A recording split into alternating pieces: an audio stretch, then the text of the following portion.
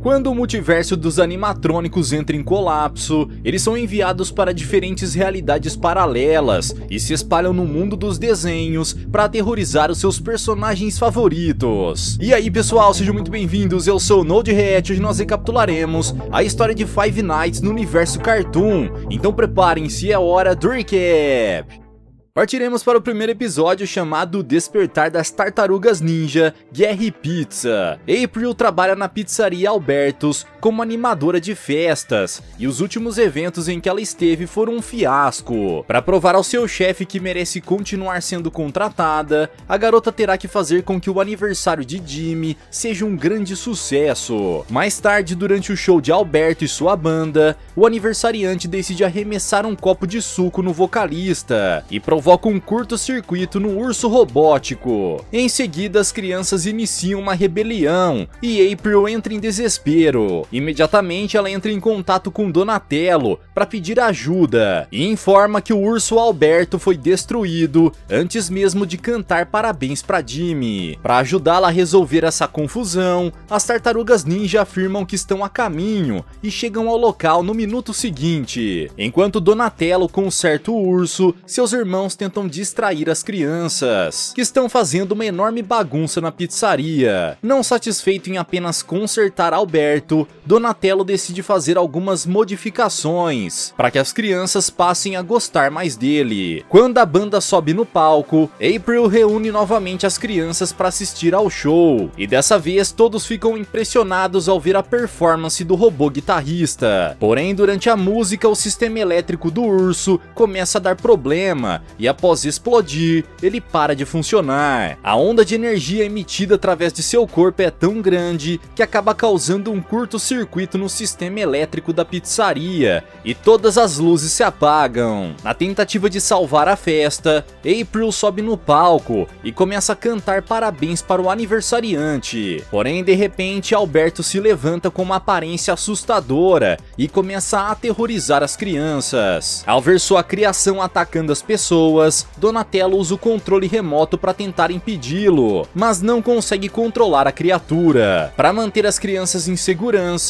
April as acompanha até a porta e pede que elas fujam. Nesse momento, a jovem é cercada pelo robô maligno e está prestes a ser atacada quando Rafael aparece e derruba o inimigo com um soco. Porém, logo em seguida, o urso se levanta para continuar a batalha, então as tartarugas ninja precisam se unir para derrotá-lo Após trazer os outros robôs de volta à vida, Alberto consegue recrutar novos vilões para sua equipe e transforma todos os brinquedos da pizzaria em seus aliados. Ao perceber que Jimmy está em perigo, April corre para salvá-lo enquanto seus quatro amigos tentam destruir os robôs do mal. Com a ajuda do garoto, a animadora de festas destrói todas as toupeiras que tentam atacá-los, mas um novo exército aparece para se vingar. Preocupada com a segurança do garoto, ela prende Jimmy junto com outro convidado dentro da máquina de bichinhos de pelúcia e acaba sendo atacada. Enquanto isso, Michelangelo luta contra o presidente Pepperoni e após distraí-lo com uma chuva de bolinhas, a tartaruga consegue capturar o monstro com uma corda. Ao contrário de seu irmão, Donatello está levando uma baita surra da tomate cereja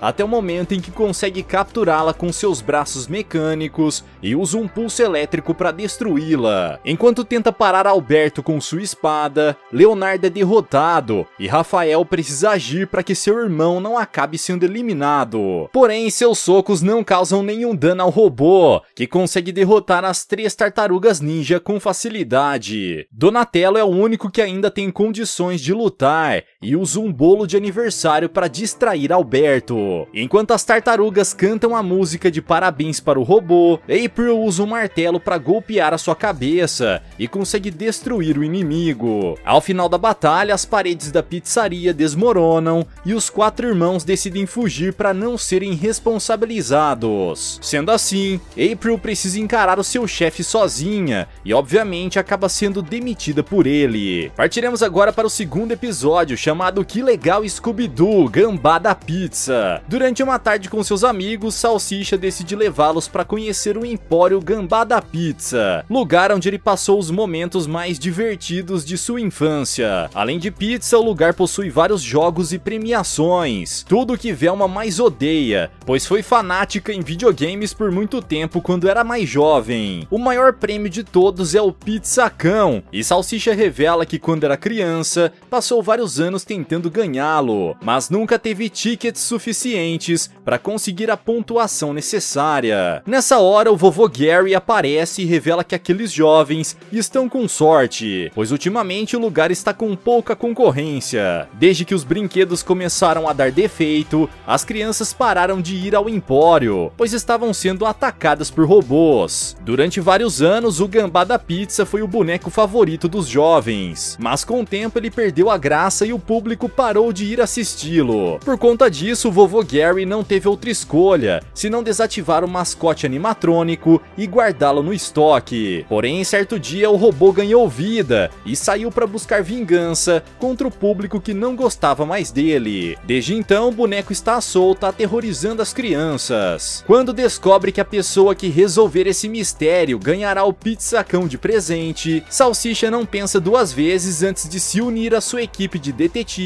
para fazer uma investigação. Porém, antes de iniciar o trabalho, Salsicha e Scooby decidem comer uma pizza, mas descobrem que a comida só pode ser trocada por tickets. Convenientemente, a dupla avista alguns bilhetes espalhados pelo chão e se apressa para pegá-los. Nessa hora, o gambá animatrônico aparece e começa a perseguir os dois amigos. Após despistar a criatura com uma suposta festa de aniversário, Salsicha e Scooby aproveitam para fugir. Enquanto isso, o restante da equipe faz uma visita ao depósito e se depara com inúmeras peças de robôs assustadoras. De repente, Gary aparece e aconselha os jovens a voltarem para o fliperama antes que mais algum robô ganhe vida. Enquanto caminha pelo local, o trio se depara com uma piscina de bolinhas e percebe algo se movimentando lá dentro. Imediatamente, Fred se aproxima para descobrir quem está se escondendo e encontra Salsicha e Scooby apavorados após escapar do gambá da pizza. Para atrair o monstro, Daphne consegue convencer a sua amiga a jogar e minutos depois de Velma iniciar a partida, o robô do mal aparece. Quando a garota está prestes a ser atacada, seus companheiros capturam o monstro para que ela possa golpeá-lo com uma marreta. Mas Velma está distraída demais com o jogo e não consegue agir como combinado. Por sua culpa, o Gambá consegue se libertar e vai atrás das pessoas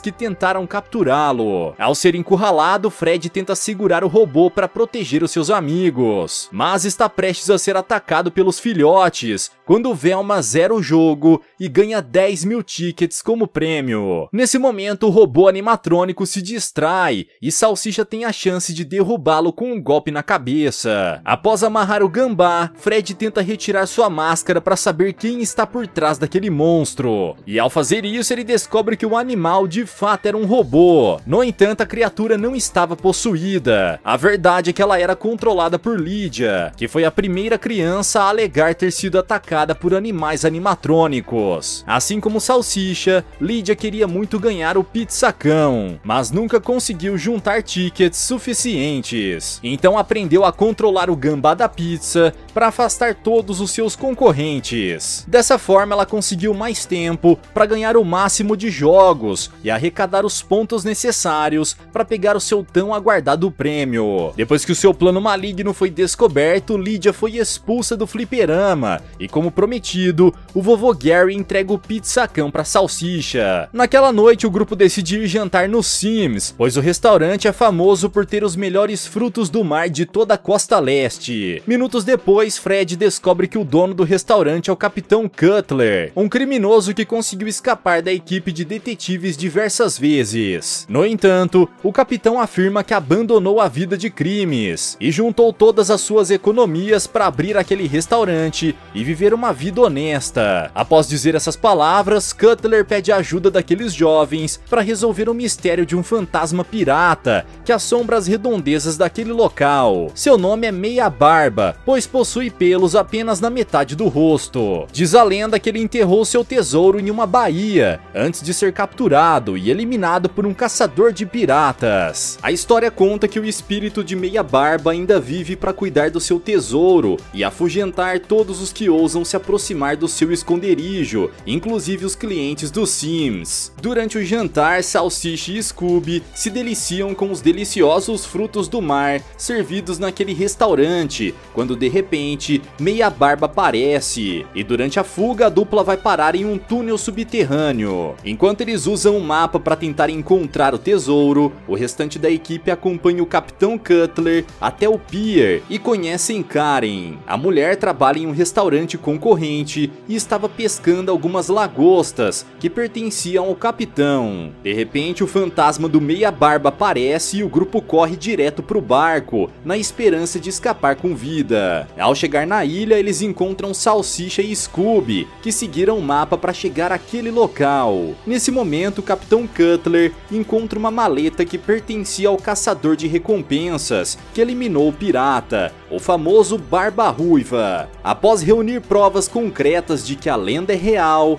Fred e seus amigos decodificam o mapa do tesouro e encontram uma piscina de água salgada com mais de 90 metros de profundidade. Decidido a encontrar o baú, Cutler se candidata para fazer o mergulho, já que é o único que está usando um traje adequado para isso. Após encontrar o tesouro, o dono do restaurante rapidamente nada de volta para a superfície e é perseguido pelo fantasma. Ao ver todos os seus amigos sendo cercados pelo inimigo, Daphne decide se fantasiar de barba ruiva e desafia Meia Barba para um duelo de espadas. No entanto, a jovem acaba perdendo a luta e está prestes a ser atacada, quando o Capitão Cutler golpeia a cabeça do fantasma e salva Daphne. Ao retirar a máscara do impostor, o grupo descobre que Karen é a verdadeira responsável por assustar os turistas. Roubar lagostas era apenas um disfarce para que ela tivesse a chance de procurar o seu verdadeiro alvo, o tesouro do falecido pirata. Enquanto os detetives estão ocupados com a prisão de Karen, Cutler foge com o tesouro e o grupo descobre que tudo não passou de um plano do capitão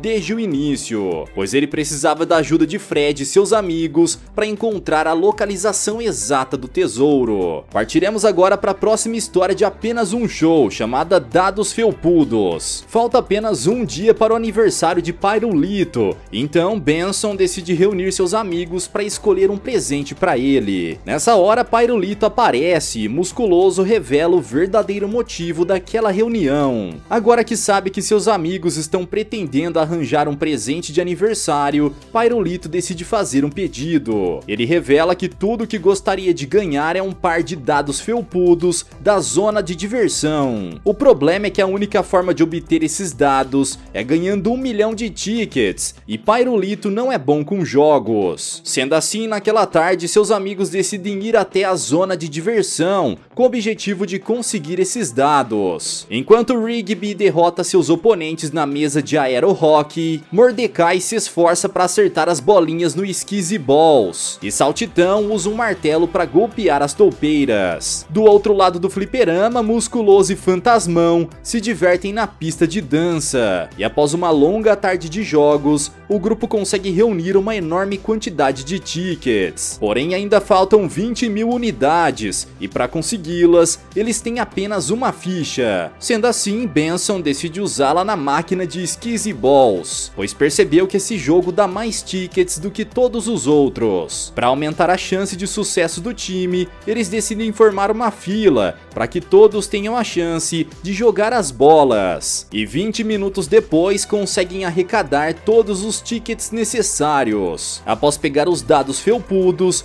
Benson e seus amigos finalmente podem voltar para casa. Porém, nessa hora, um urso animatrônico aparece e rouba os dados. Em seguida, o ladrão e sua gangue de robôs entram em um conversível vermelho e fogem em alta velocidade. Imediatamente, os seis amigos sobem em um carrinho de golfe para ir atrás deles. E ao se aproximar do veículo, o musculoso tenta pegá-los. Nessa hora, ele quase é atropelado por um caminhão, mas Saltitão consegue salvar os seu amigo e em seguida a equipe continua a perseguição. Para alcançar os robôs, eles invadem uma propriedade privada. Durante a fuga, o urso percebe que o freio de seu carro não está funcionando e acaba sofrendo um acidente. A fumaça atrai a atenção de Mordecai e o grupo logo consegue encontrar os ladrões que roubaram um par de dados de Pyrolito. Ao ser questionado sobre o motivo de querer aqueles dados, um dos criminosos revela que há 10 anos eles assaltaram uma joalheria e fugiram com milhões de dólares em diamantes brutos. Para esconder essas pedras preciosas, os assaltantes cravaram os diamantes naqueles dados. Depois de ouvir essa história, Musculoso consegue roubar os dados e arremessá-los para os seus amigos. Nesse instante, dezenas de agentes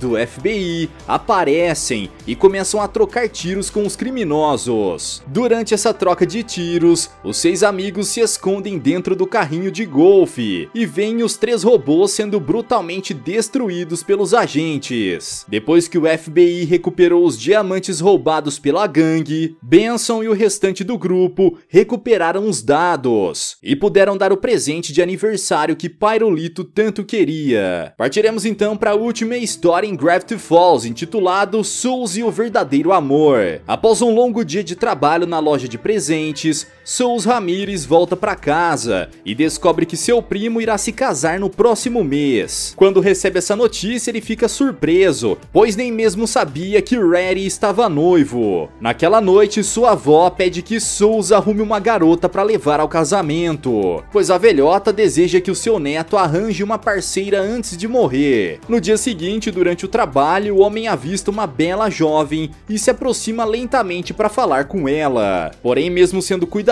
na hora de se apresentar, ele acaba assustando a mulher, que foge do estabelecimento. Quando descobre que Souls está à procura de uma namorada, Mabel decide ajudá-lo e leva o seu amigo para o shopping, onde ele terá uma enorme variedade de mulheres para paquerar. Enquanto isso, Stanley descobre que há um fliperama no shopping e decide entrar com o objetivo de descobrir o motivo das crianças gostarem tanto daquele lugar. Nesse instante, o velhote avista um texugo animatrônico e tenta comprá-lo, mas o funcionário afirma que o robô não está à venda. Após várias tentativas desastrosas, Souls desiste de tentar arranjar uma namorada e vê o seu primo Reddy caminhando com sua noiva pelo shopping. Envergonhado, o homem se esconde dentro de uma loja de videogames e decide levar um novo jogo para casa. Naquela noite, Souls conhece Giffany, a personagem principal daquele jogo, e começa a conversar com ela como se a personagem fosse uma garota de verdade. Rapidamente, os dois chegam à conclusão de que estão namorando, e Sus nem percebe que o seu videogame não está conectado à tomada. No dia seguinte, pela primeira vez, o rapaz falta ao trabalho e deixa Stanley preocupado. Para descobrir o que aconteceu com seu amigo, Mabel e Dipper decidem ir visitá-lo e descobrem que ele passou as últimas 13 horas na frente da tela da TV. Nesse momento, os dois irmãos arrastam Sus contra sua vontade para fora do quarto e Giffany usa os cabos de energia da cidade para ir atrás deles. Quando chega ao shopping e se depara com aquela grande quantidade de garotas de verdade, o cérebro de Sus entra em colapso e ele decide fugir. Enquanto se esconde em uma loja de aparelhos eletrônicos, ele encontra Giffany e descobre que ela não é um jogo comum. Toda vez que um programador tentou deletá-la, a personagem deu um jeito de se livrar dele